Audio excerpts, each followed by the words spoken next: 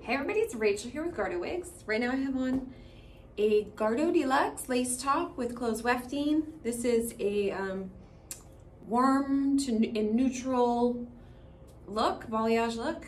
It's a medium cap.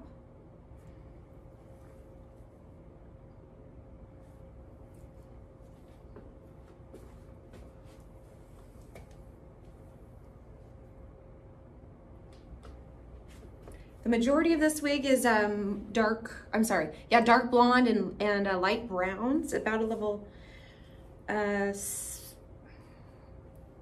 seven on top. And then the highlights, of course, that are brighter.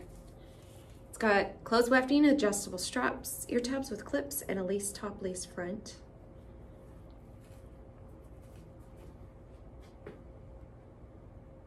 I'll put a link below to this exact wig. Thank you.